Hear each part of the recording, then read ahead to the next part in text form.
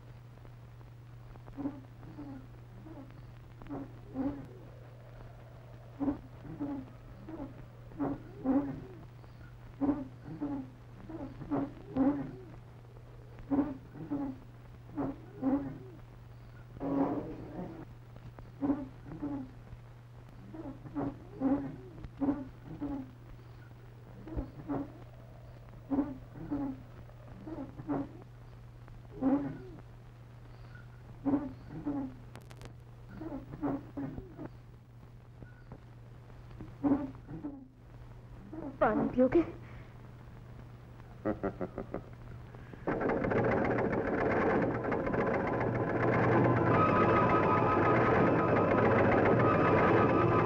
मैं तो कब से तुम्हारा प्यासा हूँ?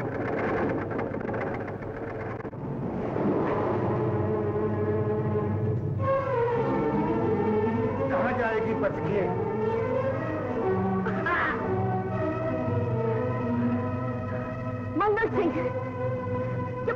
पागल हैं जरा अपने गाँव की इज़्ज़त का हाल कर गाँव उजड़ गया, बर्बाद हो गया।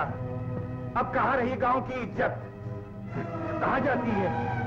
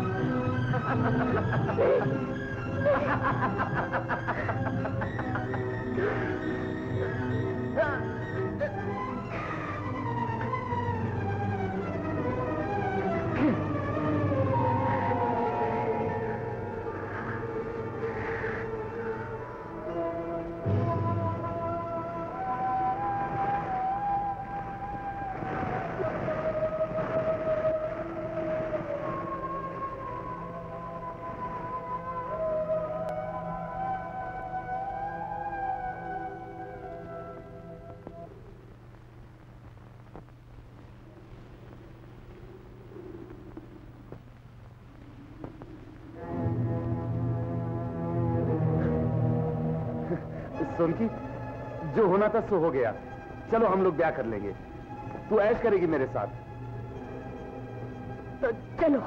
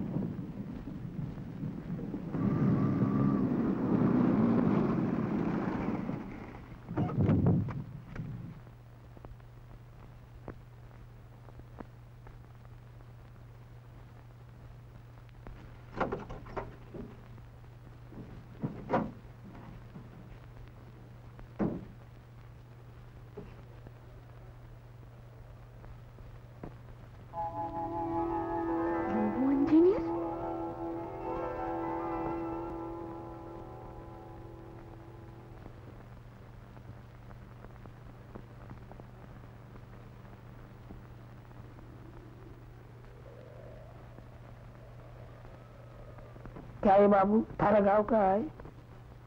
नहीं मगर उसकी परछाई वहाँ ज़रूर आई थी। हुकुम सरकार। अरे भाई सुनो जरा पानी पिला सकते हो? अरे ओ साहब के लिए पानी लाना। तू जा।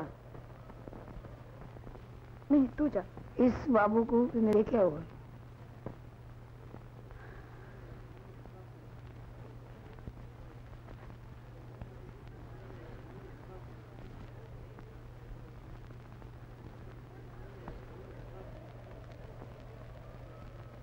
बाबूजी हमारे पास कोई कटोरा या गिलास नहीं है? कोई बात नहीं, मैं ओक से पी लूँगा।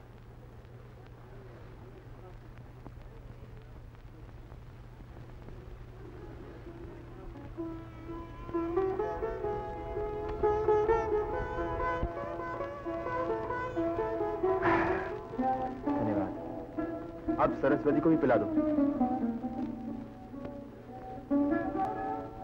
ये रही सरस्वती। वो नदी जो रेगिस्तान में खो गई थी, मेरी लाल परी भी मेरी तरह प्यासी है।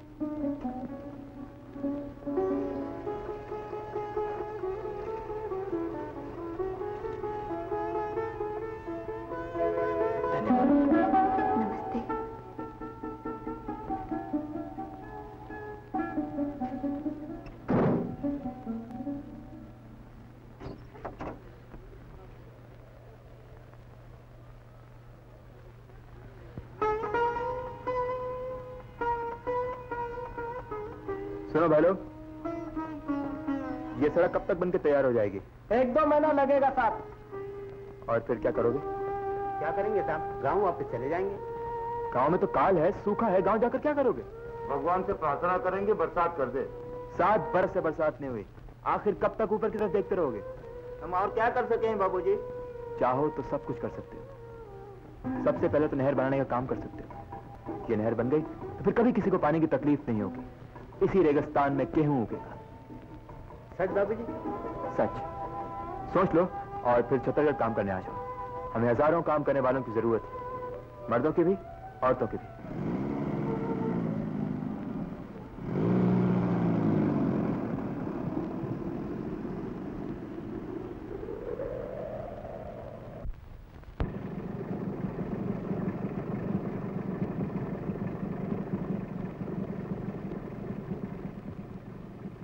साहब ये मशीन को क्या कह रहे हैं? इसे वॉकिंग ड्रैग लाइंस कहते हैं।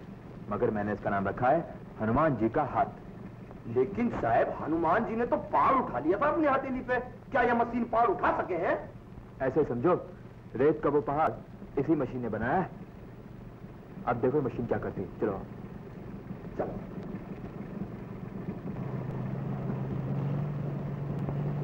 ये देखो जब हम इस लीवर को अपनी तरफ़ करते हैं तो बकेट को ड्रैग करता है और उसमें रेत भरने लगता है। वो देखा? और जब इस लीवर को आगे की तरफ़ करते हैं तो बकेट हॉस्ट होता है, ऊपर जाने लगता है। हाँ ये जो लीवर है ना, इसको जब हम आगे की तरफ़ करते हैं तो सारी मशीन टाइम से स्विंग होती है। समझे? और इस पैडल को ढीला करने पूरी मिट्टी बकेट में से गिर जाती है। ये देखो।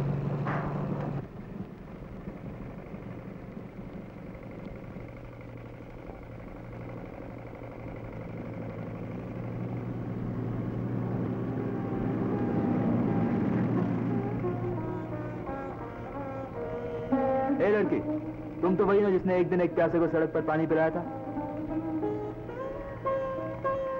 तुम यहाँ कब आई? मुझे तो मालूम ही नहीं तुमने तो सबको बुलाया था बाबूजी? अरे मैंने तो सैकड़ों हज़ारों को बुलाया मगर आज तक सिर्फ़ दो ही आए। एक गंगा सिंह एक तुम। तुम्हारा नाम क्या है? कौन से गाँव से आई हो? बाबूजी तुम अफसर हो। मजदूरियों के साथ बातें करना तुम्हारे वास्ते अच्छा नहीं।